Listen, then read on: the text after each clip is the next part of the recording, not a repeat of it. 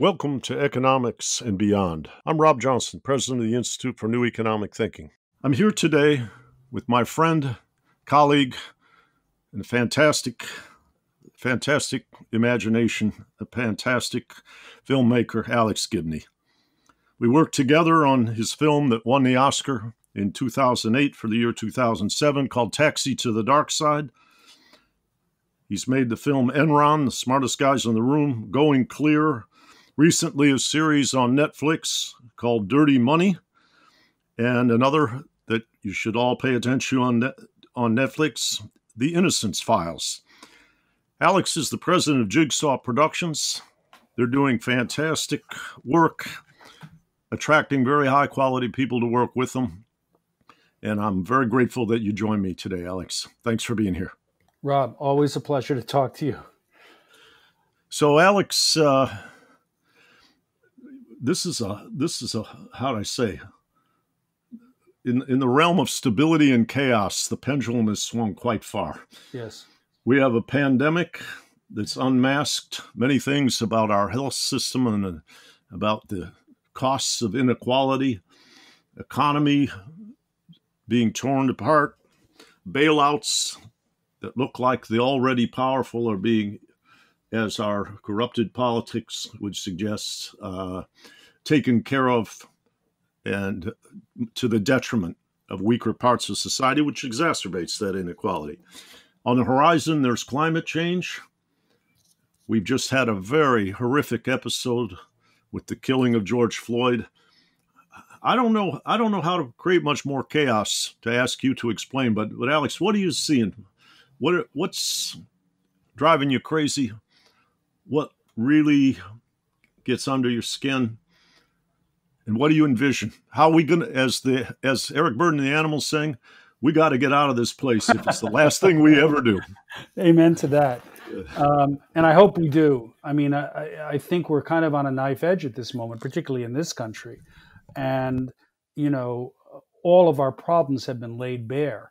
And the question is will we get to a place where um, we can begin to fix them in a in a substantive and systematic way uh, that that really reorients our all of our priorities. And and I think there's some hope that we could get there.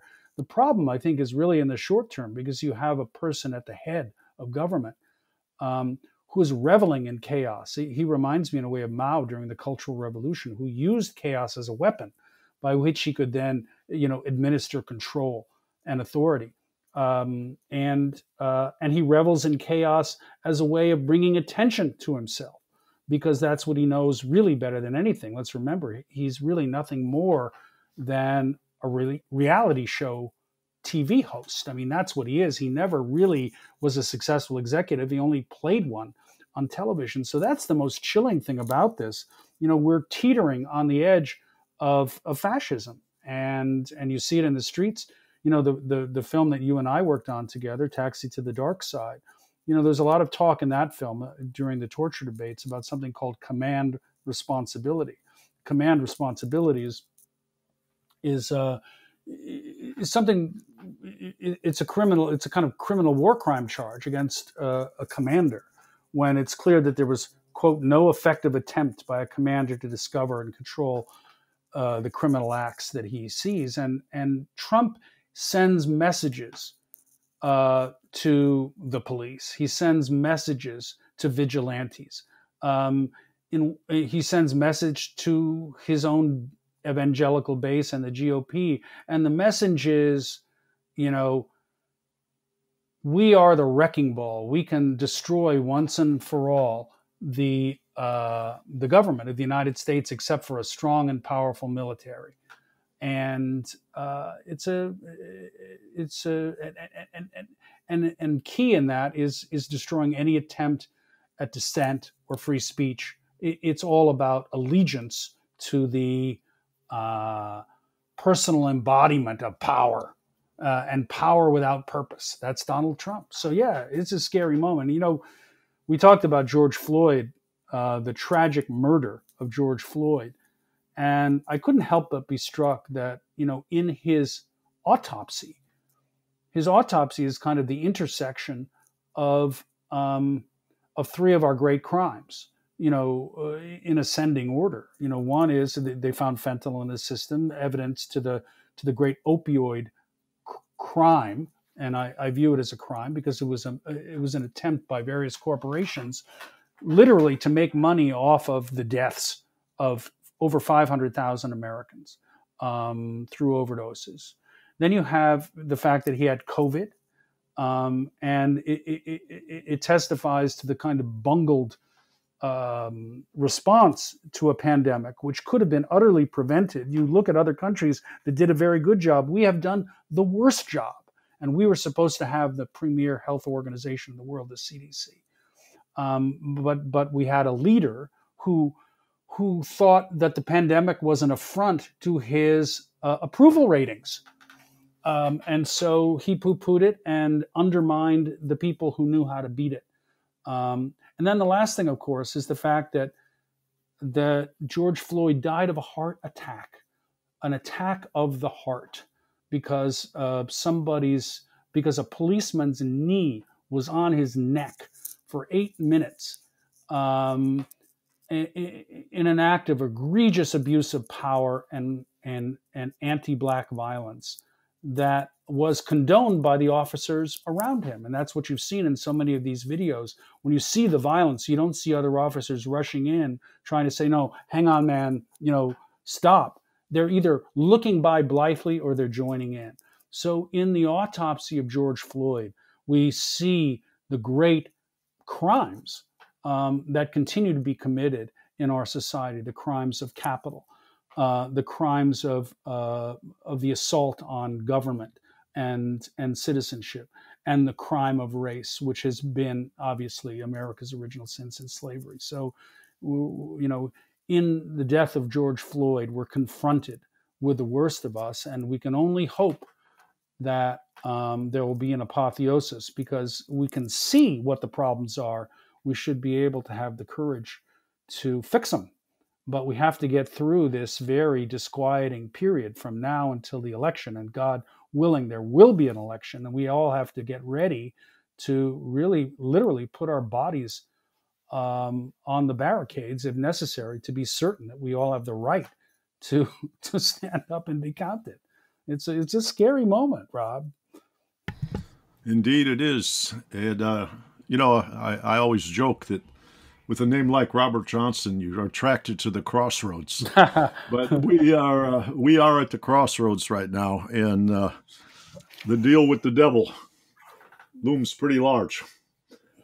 But I uh, I think voter suppression, the use of health to what you might call diminish or skew who can turn out, particularly in key swing states uh, I, I, I, there, there are a whole lot of tools that could be used by one frightened president to try and, uh, what you might call, rig the system that he got elected by saying the system was rigged.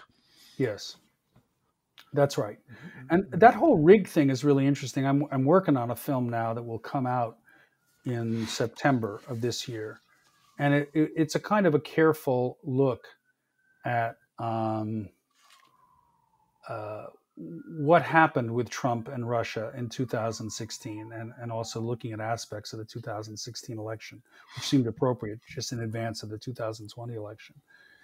And that term rigged comes up early, but it was never designed. It, it was always designed and, and, and it was quite consciously being used and fed into the system by the Russians. I, am not saying that there was active collusion between Trump and the Russians, but it was being fed into the system by the Russians during this period. Trump picks it up, but the the strategy was never to um, you know propose it as a serious possibility. It was always intended to be there to denigrate uh, Hillary Clinton's inevitable victory, which is what everybody, including Vladimir Putin and Donald Trump, you know, thought right up and, until the very last moment was going to happen. So it was a cynical attempt to cast doubt, and now the rigging has become a, a mechanism of power in the hands of somebody who is using it you know, purely as a PR tool. So it's it's scary the way these things can come around. When you uh, you how do I say? You're a great diagnostician. Your your ability to see things, choose important problems, illuminate sometimes how truth is stranger than fiction, embrace the contradictions. Uh, I uh, how do, how does the piper come and play music now? How do what's your scenario for the constructive path out of this mess? What are the necessary ingredients? Well, that's really a, a tough question, and, and and sadly, probably my my greatest weakness is to see the solutions. You know, I'm trained to look at problems and to examine them and expose them, and maybe not so good at at solutions. But, but you know but what? Wait a minute, Alex. You and I are grandparents now. We got to do that. I know. I, I trust me. you I, taught was, me that. You taught me that. I was, I was, I was coming around to it. I know we have a responsibility to do it. I'm just saying, I, I, I, I'm not touting myself as as one who's so great.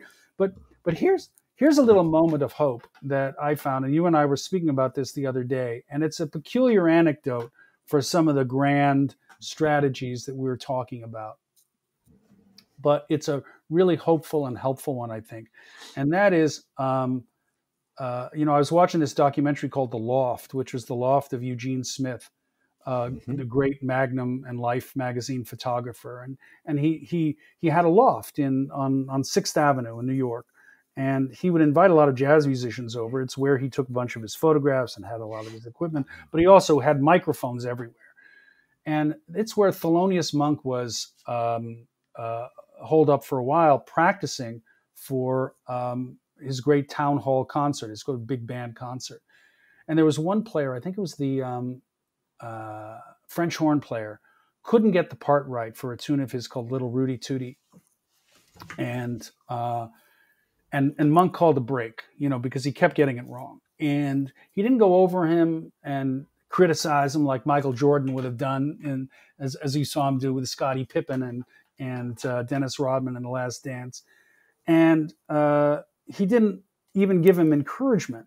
But while everyone was silent, while this guy was sitting looking at his music, Monk went over to the corner of the loft and quietly tap danced the part so that he could get the rhythm. And as soon as he saw that tap dance, he was like, oh, I get it now. So to me, what that little anecdote about a musical moment and about art, which is so important, is all about teaching and learning.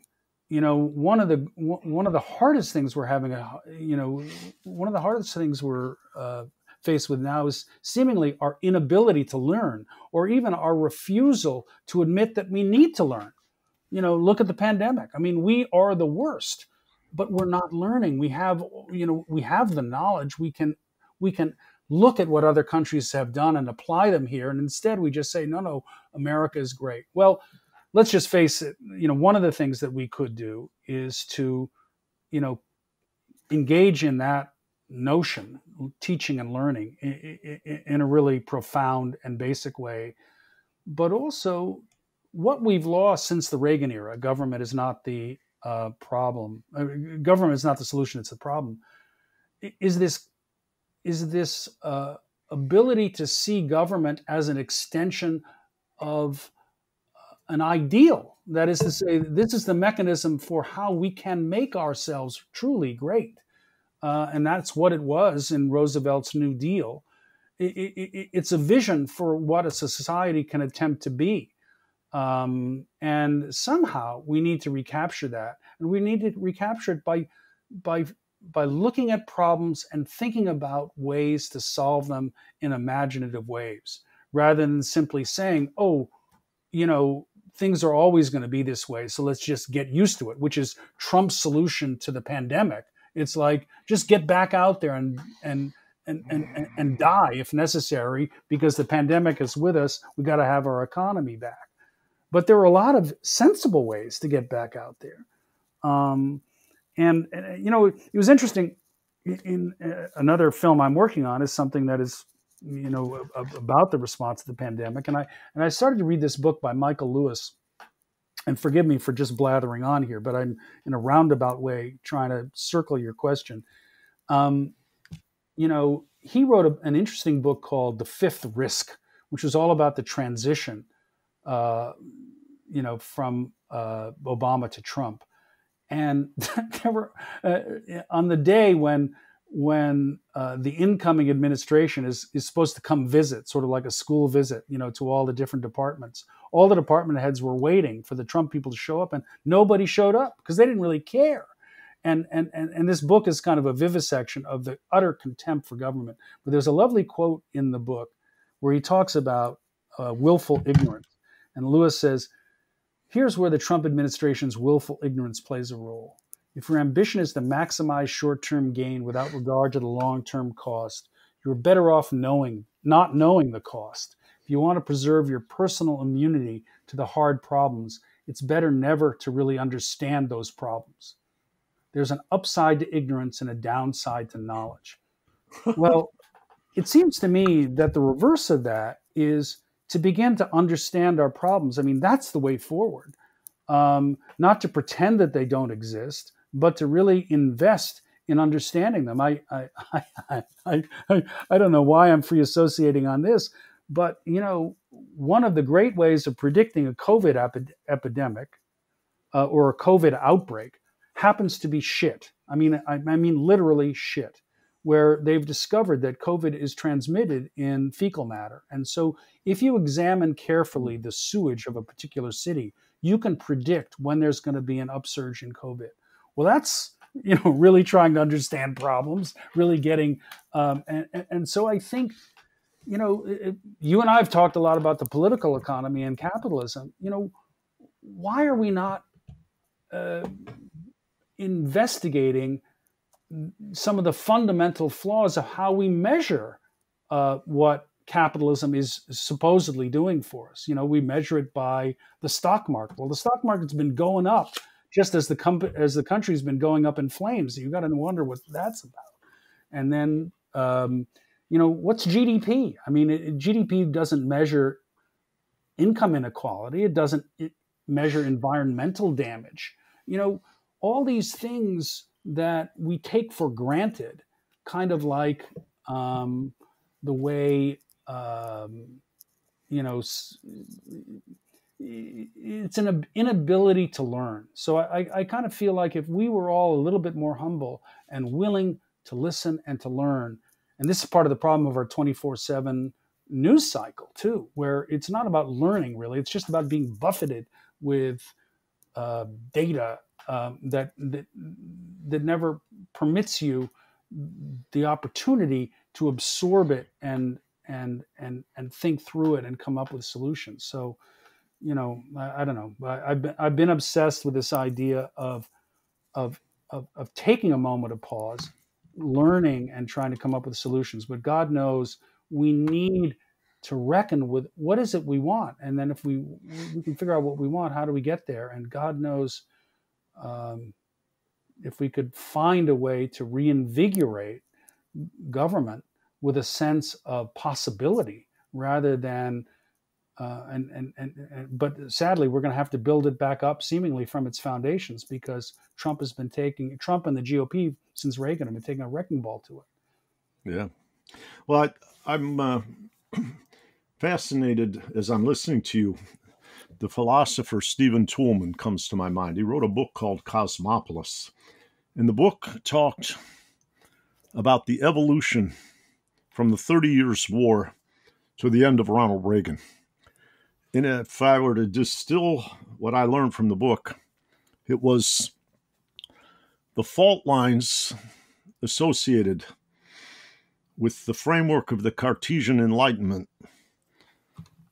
which work well with the natural sciences, but when it was adapted to the social sciences, created all kinds of masks and blind spots. And as these fault lines emerged,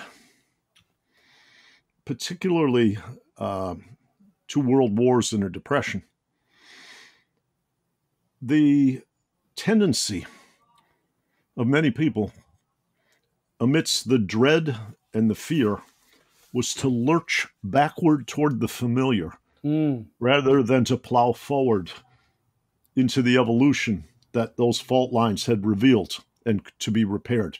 Right. And he he wrote the book really towards the end of the Reagan uh, administration as seeing them as the reaction to the civil rights movement and the various parts of the 60s uh, and the anti-war movement that was what you might call threatening the way in which America was organized and the nostalgic spell that Reagan dispensed over American society caught fire. And, and he was explaining that as a what you might call a repeat performance throughout history. Right. And, and so I, I, I do think you're right that learning and teaching are important. But the thing you said toward the end, which I thought was really right on target, is the learning and the teaching and what you might call the reliance upon expertise is also suffering from a collapse of faith in the quality of, integrity of, and the public nature of what experts do. Right. And so we are in a very difficult situation because even the teachers and learners have a hard time getting traction when our elite universities, what Michael Sandel calls the tyranny of merit, right, leave us in a place. And you know, I went to MIT and you went to Yale, right, but but they're basically saying now we have what a, a, a professor, I think his name is Deresiewicz, uh, wrote. We have a bunch of people getting educated to belong to an elite as servants, which the title of his book was Excellent Sheep. And so we're we're in a difficult place where real learning, deeply human penetrating learning, right. You don't find that in the economics 101 textbook. No. And the lateral pattern recognition and the depth. I mean, we, we have made some progress largely through technology that the access to evidence based work has become less expensive and therefore easier for people to do and, and dispels more myths. But, right. but you know, as some people say, uh, facts are like sacks. Unless you put something in them, they don't stand up. uh, that, was, that was a line from E.H. Carr, the right. famous author of the 20 year crisis. Uh, but but the idea that interpretation still matters. The facts don't speak for themselves. Which facts you choose to illuminate and so forth uh, doesn't allow evidence-based analysis to get us completely out of the woods. But I but I think we're we're in a difficult place. Well, you have to have a moral framework. I mean, you have to have a That's moral right. and ethical framework. Um, you know, I just felt like Scottie Pippen, and I passed you the ball, and you dunked it with what you said. That's right, a moral framework, man. That, yeah, that was the dunk right there. because w- without the moral framework, then you're right. The facts don't matter. Um, you know, the phone book mm. is a series of facts. Um, there, it's a list. It's, it's, a rather well organized list of facts, but they don't take us anywhere. Um, Uh, so so so so that is necessary, and and and, and yet the it's it's a it's a tricky moment because the the reliance on cheap expertise or on or on theories or it, it's like the unwillingness of experts to examine or re-examine their own um, frameworks is a serious problem. Um, and you know, examining how how we measure capitalism. That would be one way of doing it, and and you know that far better than I. Um, but uh, at the same time, it is really important to be able to explore within a moral framework um, data and evidence and reporting. I mean, I'm I'm a documentary filmmaker. I believe strongly in you know in the idea that you go out and listen to people and you try to say what happened based on what it is you see and what it is you discover. Um, and, and that's where you hopefully come up with uncomfortable truths. And it's the uncomfortable truths that are hard. You know, that's why, and, and, and I can't remember whether we were talking about this before we started or, whether we have, you know, but um, you know, we're in the midst of a pandemic. We're all told about you know how people are supposed to, how we're all supposed to wash our hands far more vigorously. You know, there was a hero in Vienna, a gynecologist named Ignaz Semmelweis, and uh, he was perplexed by a mystery, which is why one clinic, which was run entirely by male doctors, had a much higher fatality rate in of mothers when they were giving birth than than the clinic, which was run entirely by midwives. And you can say, well, we can guess what the solution was, but he found very concrete result, which was that you know the the male doctors were teaching um, um, students in the mornings and they were handling cadavers and they weren't washing their hands and they were infecting moms in the afternoon. And he tried to present this, and it was an uncomfortable truth because it called everybody to account. And as a result, they drummed him out of Vienna. So, so expertise is tricky. You know, it's it, it's the cheap expertise that re- and that becomes conventional wisdom if you don't keep re-examining yourself all the time it's that willingness and that's the hardest thing of all that's why you know i've been a lot interested in in the notions of mindfulness you know where you're you're trying to use meditation to get outside yourself so that you're not as susceptible um, to um, uh, snap judgments uh, which which have their evolutionary place but as you as we can see in the way the police are acting toward um, peaceful protesters, not so useful in other instances. But that mindfulness puts you in a place of being able and willing to uh, engage that you may have been wrong. You know, mm-hmm. Trump is never wrong, ever. And he, he could change his mind twice in a sentence, but in terms of being right or wrong, he's always right. So, this expertise thing, expertise in, in, in terms of um, a kind of incontrovertible, incontrovertible canon, which then almost becomes religious. That's huge danger, seems to me. But um, but we depend on people, or we should depend on all of us to be able to look at the evidence, which is so necessary now. Do you, am I blathering? yeah, no, no, no, no. I think uh, I'm, I'm, I'm, I'm, actually you're, you're going right into my well because I have been. I gave a talk in Bruges, Belgium, a little over a year ago, where I talked about the only way a person can be satisfied with their life is if they go introspectively through meditation. In the case of me and and what I was recommending to examine the feelings of their own neediness, and then to define a purpose in their life so that when they come out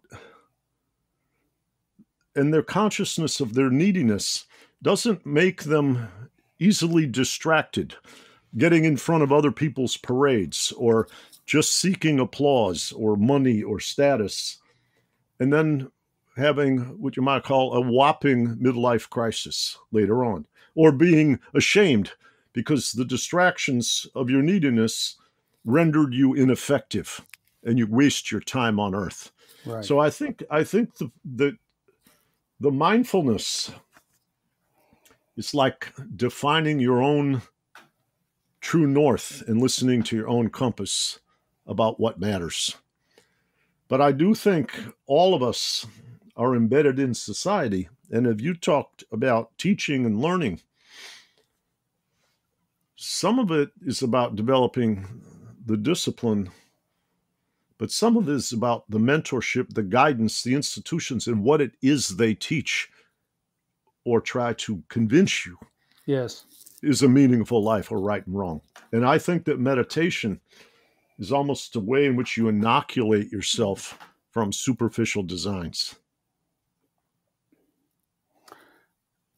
you know, it's an interesting um, issue that comes up a lot in uh, filmmaking, and particularly in the role of a producer or an executive producer. When you're confronted with um, not I shouldn't say confronted, but when you're engaged with another filmmaker who is doing their best to make a film, and you can see that there are things that that filmmaker is doing that you wouldn't do it that way. The hardest thing in the world is to be able to try to reckon with what it is that they're doing and try to give them some help uh, to follow their path rather than uh, the path that you might follow. Mm-hmm. And it's a mm-hmm. really intriguing and important um, exercise um, mm-hmm. because um, there's probably useful wisdom or expertise that you could dispense, and you could say, well, here's how you solve the problem X, Y, and Z. But as we know from our kids and our grandkids, that's rarely useful. It's like you want to be able to ask the question to put them back in a place where they then solve the problem themselves, which ultimately is far more useful uh, than than than dispensing an answer, which may not even be the right answer. Um, mm-hmm. So, you know, that's one of the things we're trying. Again, I say with some humility, trying to do at our company, where we, we're trying to work with other filmmakers and trying to put them in a position to to make the films they want their way. And and sometimes, you know, with our networks, we we run into um, problems that way. Even on Dirty Money, which is a series we, we, have gone two seasons now. It's a series of which I'm enormously proud because um, yeah, it, it, should be. It, it, basically takes on corporate crime and corruption, um, and um, but each director directs their films their way and and I was absolutely adamant about that. And I think the the network at times, ultimately, you know, network, Netflix was extremely supportive, but at times, you know, they they felt a comfort in in in in observing a kind of house style where everybody would do it the same way. That way, they could everybody could apply the same rule book and and rubric to to the critique, but it's a harder thing when you're trying to reckon with how those filmmakers are telling the story and know that they have their way. And so, how do you how, how do you how do you find a way to celebrate that and and help them, you know, find their voice most effectively? Guess, and and it's not just you know finding their voice, but I mean every one of the one of the great things. Uh, you know, my Um, I had a wonderful professor who taught the Bible at, at, at, college, and I wrote a paper that I thought was so great and and and, and innovative and interesting. And he said, "Yeah, it, it was interesting and it was fun, but I couldn't quite tell what you were saying." And and the mark of a you know the mark of a of communication, the mark of a good paper, is to be able to communicate clearly what it is yeah. you're trying to say. So so to those filmmakers to be able to help them say in their voice the way they want to in a way that's clear to other people. You know that's the that's the trick. And that's you know getting back to this whole teaching and learning thing um, that i that i think in this period is so important. Because because because god knows now um, you know writ large uh, how important it's going to be for there to be many voices to which we all listen, as opposed to the one voice of Donald Trump, which is the society that he wants to engender. So, um, how do we get to that place and yet find enough common purpose to be able to move in a direction that takes us all, all someplace good?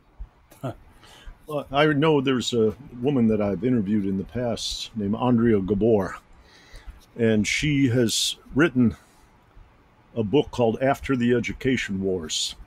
But she also wrote the biography of W. W. Edward Deming. Oh yeah. And Deming He was famous in Japan. Yeah.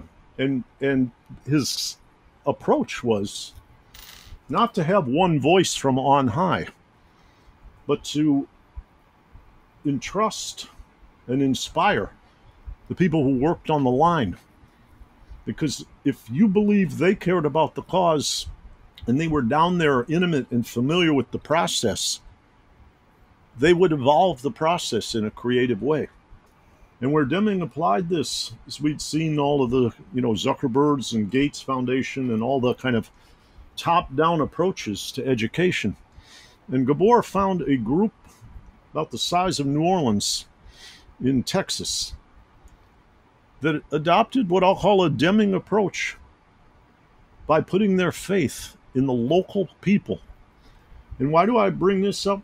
Because, Alex, what you were talking about as a mentor is that the director's heart is not just a metronome that's following your leadership, there's creativity in that heart. And by your respectful mentoring, you're enlisting that heart along with yourself. And you together, I think, will discover things in the creation of art, in your case, film. Yeah. There, that that process of unleashing the other person's passion awareness is something the audience will feel. Yep. It, and it can be deadened by what you might call a a coercive or overriding mentor. Right. And I think uh, I think this listening to the many voices in our politics, listening to the many voices in how we structure education, uh, it, it takes power out of the hands of the oligarchy or whatever you want to call it. But it makes a system that's much more responsive. Absolutely. I mean, I, I remember um, to take it away from the philosophical and get get get into the brass tacks territory for, for a moment because you because you mm-hmm. mentioned Deming and I obviously I grew up in Japan as you know partly, um, right. and and I made some films about um, Japanese manufacturing, and what one of the fascinating things about the Japanese assembly line. Uh, you know, which was engendered in, in part by, by Deming and, and his quality control theories that were greatly absorbed by the Japanese, not so much for a long time by the by the Americans, was that you make small innovations. Uh, Toyota, um, old man Toyota, had a great phrase. It was "mistakes are precious," by which he meant, you know. Uh, you know, when, when you find a mistake, it's t- it tells you a lot because then, then, then you deepen your knowledge. You don't pretend that there wasn't a mistake. You you invest in the mistake and figure out how to fix it. But the, if you would go down the Japanese assembly line, you would think that, you know, at a place like Toyota, it would be this kind of rigid, um, you know, singular monolith uh, in which, you know, everything was predetermined. But along the way, there were all these funny little Rube, Gerb, Rube Goldberg solutions that they had to solving little problems that were um, there were suggestions made by people on the floor that were slowly but surely adopted that made the whole assembly line a kind of living, breathing organism uh, of, uh, of, of innovation. What a concept. Yeah, yeah. And uh, I guess the, uh, the question right now is that we have a structure that's been founded on a very different system of management and control and what you might call meritocratic, where those who pass the tests or come with the degrees or whatever are somehow viewed as entitled to make the decisions on behalf of society. Right. But it's it's hard it's hard in a highly unequal society to be a decision maker where if you please the powerful positions, chairs at universities, affirmation in large organs in the press, all come your way. Yep. And if you stand up to those things, you're, mo- you're more than on your own. That's right. You're swimming against the tide. People are trying to take you down. Yeah. So it's a uh, it's not a passive environment. No, and, and it's very difficult. All we have to do is look at whistleblowers I mean, you know, we like to believe that we, we like whistleblowers, but we really don't. We like the people who go along. I, will never forget when I was going on the stump for Enron. You know, it, it, it almost um, uh, every stop, uh, somebody w- would ask a question like, "What the hell does that whistleblower think she was doing anyway?" As if she was the problem and they weren't asking about how could Ken Lay be such a bad guy or how could Jeff Skilling, you know, be so crooked. They were asking about her, the whistleblower, and um, Sherron Watkins. And I thought, what a strange idea, but it, but it kind of testifies to a natural um, enmity that that we seem to be hardwired for toward people who make us feel uh, that um, we aren't as as good as we should have been. Like we don't like to be shown up by somebody else, right? Um, and and it takes an enormous it, it, it, it, it takes a whole mind shift to be able to be inspired by that instead of to be threatened by it. You'd like to think that somebody who's trying to make the world a better place is somebody you should celebrate, right? So, mm-hmm. but it's uh, yep. we we are, um, you know, evolutionary biology is teaching us a lot about the gravity that sometimes keeps us on the ground, but at the same time, we're learning a lot more about how we can fly. Maybe that's mm-hmm. the hope for the future. You know, um, we can fly so long as we recognize there is such a thing as gravity. Um, so, yep. Um, you know, that's the that's the hope. Well, it, it reminds me of my uh, board member and uh, senior person at the Financial Times, Gillian Tett. When I started the Institute for New Economic Thinking, I said, What is it that I should uh, focus on? She's a cultural anthropologist, PhD by training. And she said, Rob, it's real interesting.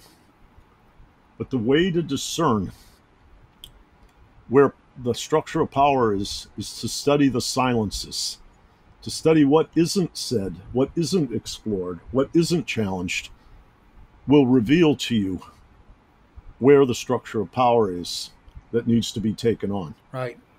I thought that was a fantastic insight. I agree. And uh, and uh, she ha- she also gave me a wonderful quote uh, from a man named Rene Char. It was in a book by her mentor Pierre Bourdieu and uh, the, the quote was The spirit in the castle is contained in its drawbridge. And uh, I, I, think right now we're finding out a whole lot of, about the drawbridges that have been up for a very significant segment of society. Yeah, the moat is deep and the, and the, and the drawbridges are high. Right. Yeah. Yes. And the, and the spirit in the castle is, is hollow. Is not is hollow and not generous. Right. Yeah. Yes. And that and that's what we're being challenged to overcome right now. That's what we're being uh, uh, challenged is too gentle a word. This it's being thrust at us. Yes. And and the level of deep discomfort is is an impetus to change. But it, it's like you said, the resistances are are very formidable. Well, and, uh, it's moments like this.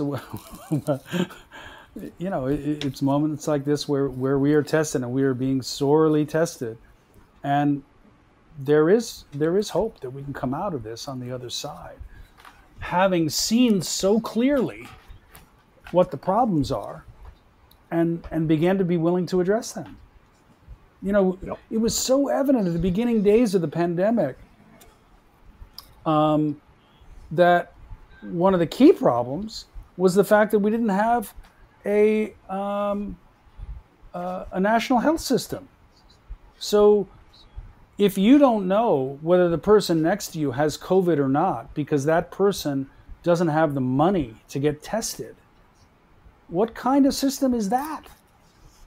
You know, it's it's literally a system that threatens your livelihood and your your life because you haven't been willing to be generous enough and sensible enough to make sure that everybody has access to health care. And as a result, now the person right next to you could be diseased because you, and, and, and infect you because you because your drawbridge was up Yep. Yep. And what's interesting is when what I'll call the unsustained unsustainability comes home to roost. The people in the castle they can feel the rot. They can feel the the collapse of morale. And the question goes back to what you posed earlier are they going to be learning and teaching? Or are they going to hunker down to the familiar, Right. as Stephen Toulmin suggested? One of my favorite books ever is by the poet Muriel Rukeyser. It's called The Life of Poetry. And the uh, first part of the book is called The Resistances. And it's about, the first chapter is called The Fear of Poetry. Poetry, with all of its ways of what you might call permeating your defenses and so forth, and suggesting new dimensions of imagination, is something many people, uh, you might call, aspire to ingest, expand their awareness. But at those fearful times, the drawbridge is pulled up. And I'll, I'll just read you a quick note at the start of the book. She says, a way to allow people to feel the meeting of their consciousness in the world, to feel the full value of the meanings of emotions and ideas in their relations with each other, and to understand in the glimpse of a moment the freshness of things and their possibilities. There is an art which gives us that way, and it is in our society now an outcast art. Wow. She wrote that book in the late 40s, and it's it's worth reading every every paragraph of this book. I'll get your copy, I love that. but uh, but it's uh, that this this question of what you might call the receptiveness of the mind, the reinvigoration of morale, the bringing down of the drawbridge, the inclusiveness, all all of these things now. uh, the- It's like they loom so large, even in relation to six months ago. Yes. The challenge is screaming at us. Well, the challenge is screaming at us, but it, it also seems like the solutions are right there staring us in, in the face, too. You know, we all blithely talked about income inequality. Um, and, and now you see, you know, where COVID goes, right? And, and, and it catches on in, um, in the poorest corners of our society. It's just obvious. COVID is teaching us uh, this mindless virus is teaching us more lessons than we could possibly have imagined. Um, yes. and I remember Alex uh, at a time when we worked together. The hideousness of torture. Mm. We walked around with various people in the national security community, people at West Point, people who were willing to give their lives for their country, their sense of purpose, their sense of honor. And they were appalled. Some of the people who helped us research for that movie, they were appalled at this grotesque use of torture, which your film documented. Because, well, at one level, it was very tangible for them. They knew if they were out in the world and we were doing that to soldiers on the other side, it would it could be done to them. Yep.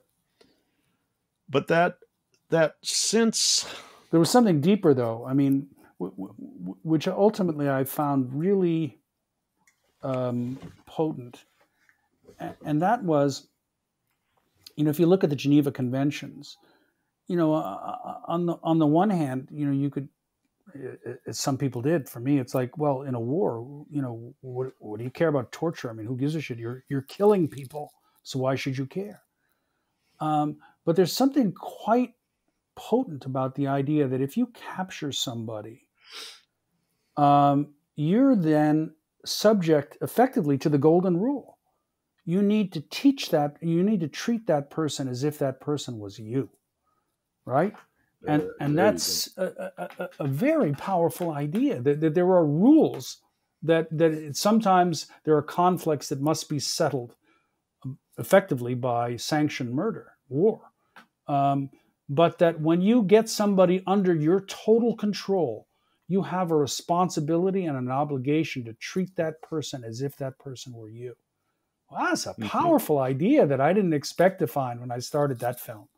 Um, but a lot of those soldiers, you know, really believed it, and and I was I was always struck you know, in the rollout for that film, that how many soldiers um, were in, were engaged by it and, and thanked us for it, um, yes. because they felt that they were fighting for something important, and that by being forced to become less than human, uh, to succumb to forced drift and uh, the worst angels of their nature, um, you know that that um, it, it, it, was not something that they wanted, but but that they felt that they were being pushed in in that direction, and sadly, a direction that the human being is wired to uh, ingest like a like a bad drug.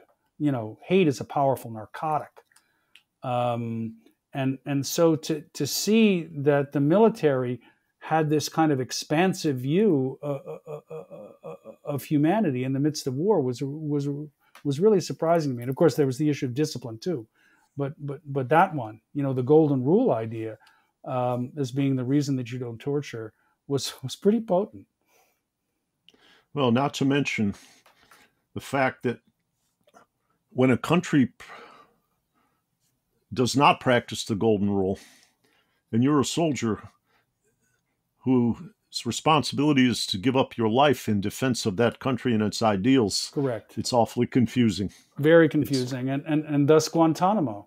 So you have, you know, nothing could have been a more effective recruiting tool for for nothing is still a more effective recruiting tool for terrorists all over the world than Guantanamo.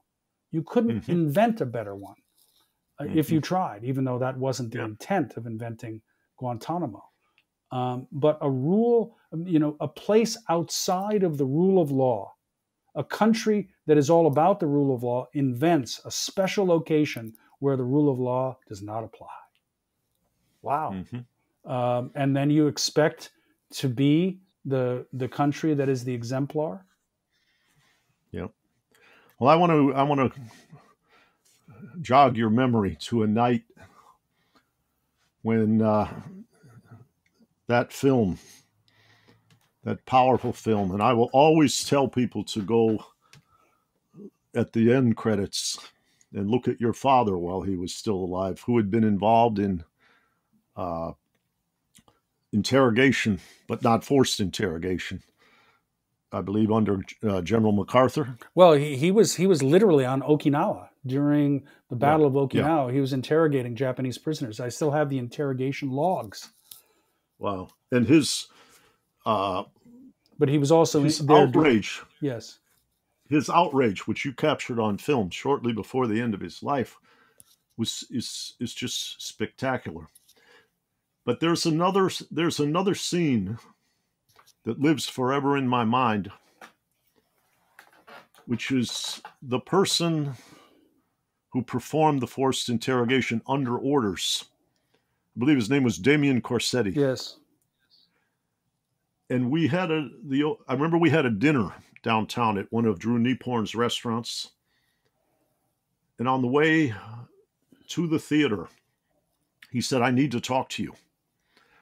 And when we got to the theater, this this is a man who went to jail, but by not practicing the golden rule under orders from his superiors, it seemed to tear him apart psychologically, and then he was scapegoated like a renegade bad apple. Right. But he looked at me when we got into the theater, getting ready to sit down, and he was going to sit not right next to me, but over a couple rows, and he said, "If I can stand it, watching myself in this film."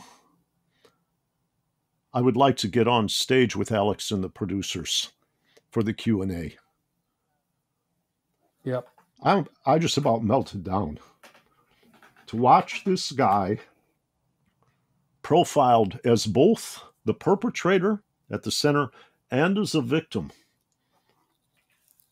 which you might call redeeming or cleansing himself by looking it in the eye, was a tremendously powerful experience. It was. And, it was a, a, hugely powerful experience. A, a, Damien, whose who who had the word il monstruoso, the monster, tattooed on his chest, uh, yes. and was used for his heft, sometimes to sit on prisoners, and was part of this brutal system that we had begun to employ all over, was willing to see where he had been and what he had done and reckon with the contradictions and the humanity and and then to stand there afterwards and, and i remember uh, you know a couple of people were like well and and the audience gave him a huge round of applause and and which mm-hmm. discomfited mm-hmm. some people but not me i mean i i i think we're, we're you know we're talking about teaching and learning and and one aspect of that is is a reckoning is and, and a sense of redemption it's not excusing but if you can go through that journey where you recognize what you have done and you uh, take account of it and you come out the other side and you have become changed, that is a powerful idea. I mean, we can't, there's where I, I, fear that some on the left, you know, are, are too fond of scolding and not enough enamored of the idea of, of redemption. Justice we need, but redemption, you know, must be possible. Uh, you know, if you really are learning, right? So yeah, I, I and, and, that was a that, that was very potent. You know, we, we, we developed an interesting relationship with Damien. Um, yeah. Well, I want to I want to interrupt you for a second. I'm going to ask our listeners to rewind for about 75 seconds because you were describing Damien, but you were also describing the recipe for the United States of America right now. Mm-hmm. What are we responsible for redeeming, for looking in the eye, for correcting before we hand it off to our children? Right. And without that same courage and unrelenting clarity that Damien demonstrated to us, America won't get there. That's right. I agree. I agree 100% that there is light at the end of the tunnel, but only uh, if we examine um, in great detail uh, our responsibility for the darkness of that tunnel. Uh, that's our only way out to the light, um, and um, and that's our challenge. that's our challenge, that's but it right. se- seems like one that we can meet. Yes, but Alex, I'm uh, I'm I'm I'm inclined right now to create a message for your grandson mm. or your, all your grandchildren. What you do is you find the dark tunnels. And what you do is you shed light on the way to that light. And that's a necessary part of the journey. Because if we skip beyond the diagnosis of the true uncomfortable causes, particularly in the face of, like we talked about earlier in this conversation, of elite pressure and power. We never have the reckoning that leads to redemption. That's right. So, your historic style, and I know this from our friendly discussions over time,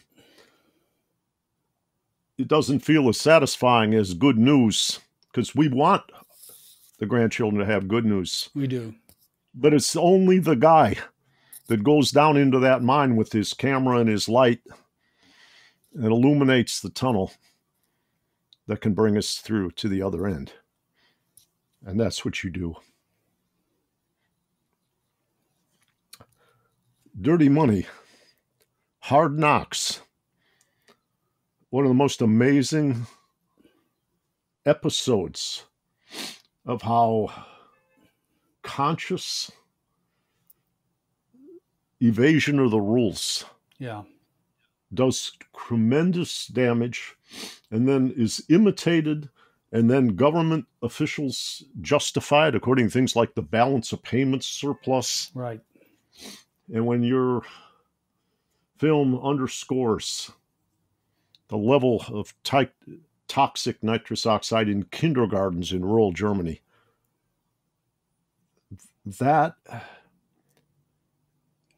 is the kind of courage and depth of examination which you have a gift for that is necessary to rooting things out right now.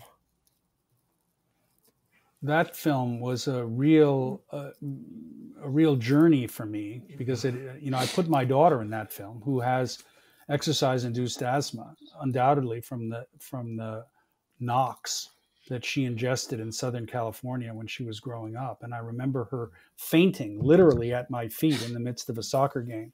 And we didn't understand that, that her exercise induced asthma was so bad that, that actually, you know, she was literally passing out. Um, but what was so interesting to me about what Volkswagen did with their cheating scandal was that the expertise at the top, and the Germans, uh, after all, were great engineers. And particularly VW was a place that attracted all the world's best engineers. So at the top, the absence of a moral framework, to get back to what we were talking about, the, was was was um, laid out to the employees as this: we need to be number one in the world. That is to say, in terms of selling the most cars, we don't care how we get there and the engineers internalize it. They come up with a cheating system that allows them to foil the American p- pollution uh, controls so that they can sell the perfect car, which was the one I bought. Um, but in the meantime, it's spewing unbelievable amounts of NOx into the atmosphere, literally killing people. And you can codify how many people have died worldwide via NOx. So they're literally making money by killing people. And then to in the middle of that film, we discovered that that actually they had designed a series of almost um, Hitlerian proportions where they were literally gassing. They were they were proposing initially to gas people to to literally hook a, a human being on a bicycle up to uh, a, a room that was connected to a tailpipe of a car. And then when, when they were advised that that would be a bad look, they decided to get a bunch of monkeys and gas the monkeys. And you realize the kind of what's that great phrase about uh, economic actors aren't rational; they're rationalizers. So in the, so in, in the midst of of this um, uh, mission, which was to be number one, they rationalized the most extreme and brutal behavior, which was literally to kill monkeys and people uh, in the service of, of becoming number one. And that was really a, an eye opener for me. And it's not, and, and you begin to understand it's not like saying, because because people get defensive about these films and say, I know people who work at Volkswagen, they're very nice people. You know, that that's really not the point.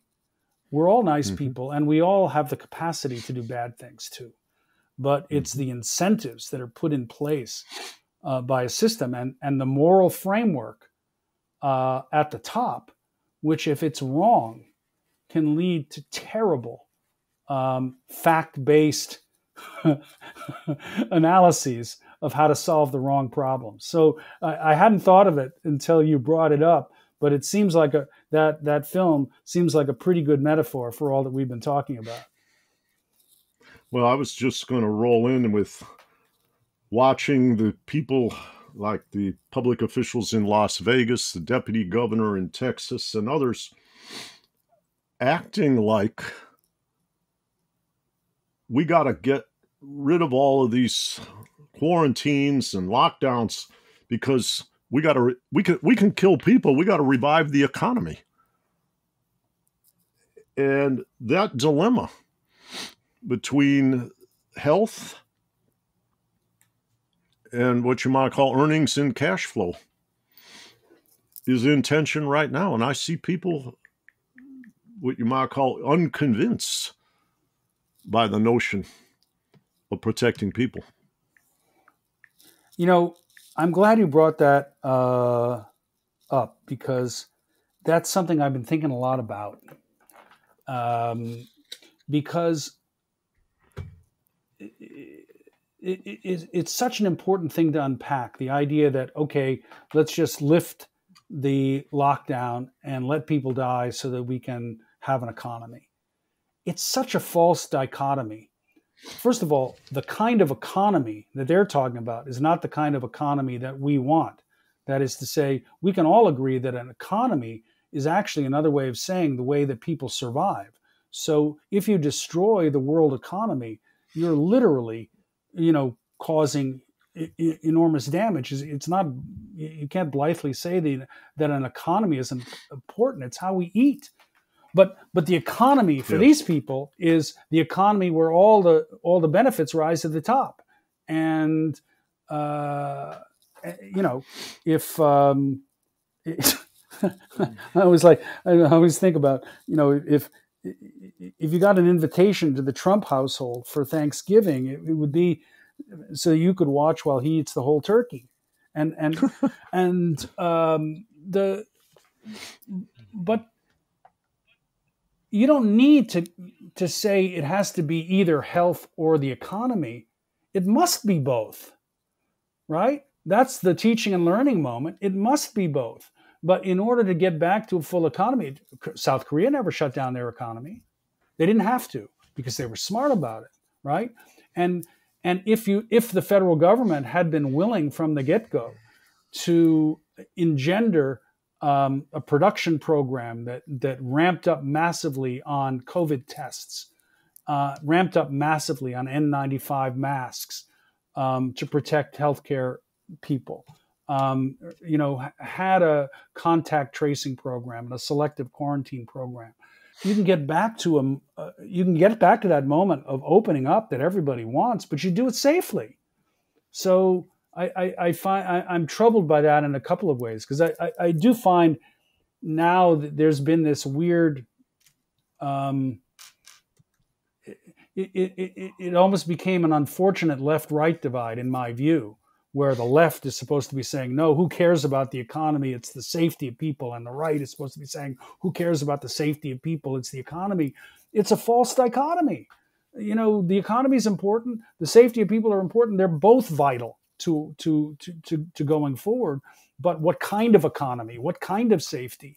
And, and, and what do we do to make them both happen? That's what we should be focusing on. Um, and because uh, because I think you know there is a way forward, and and all we have to do is look around the world. Look what New Zealand is doing. Look what Australia is doing. Look what South Korea is doing. Look what Germany is doing. Scandinavia has done a pretty good job. Out uh, you know Sweden is controversial, um, but um, uh, but it takes government leadership, and and that's where scientific expertise devoid of political bullshit, um, you know, is hugely helpful. Where where daily briefings aren't given by politicians, they're given by scientists who are letting us know, letting them know how they're doing. Wow, you know, the the the, the current president of South Korea is there because the last president failed so badly. I believe it was MERS. Um, and, and, there was a political cost. I can only hope there'll be a political cost in, in this instance. But yeah, you, that, that that I've been thinking about it a lot. That that kind of false dichotomy between the economy and safety. It must be both, and there's a way to have both, but it, it entails a, a, certain amount of hard work and some risk, uh, but not the kind of reckless risk that the governor of Texas was proposing. You know, let the old people die. Yeah. Was basically what he was saying. Yeah, yeah. Well, I think uh, I, I we should probably bring things to a close here, but I, wanted to say, Alex, for the young people that listen to this, for the young people that are curious about visual media and about your great chain of success, I want to underscore from knowing you for many years. Some will call you a filmmaker. But in this technocratic scientific, ritual You're actually a moral philosopher. It's how you choose your questions, it's how you shed light, and it's how you explore. And without that grounding in the poetry of your heart, you wouldn't be what you've become. I learn a tremendous amount from you. And I from I'm you. Rob. always inspired by you. And I'm I just want to thank you for being here today. And I want you to promise me that as we turn the corner in whatever direction, and we don't know yet, but I'd like to I'd like to continue the conversation. But I'm very, very proud to be your friend. Likewise, right back at you. All right, man. Thanks. Okay, Rob. Many thanks. Bye bye. Bye. And check out more from the Institute for New Economic Thinking at ineteconomics.org.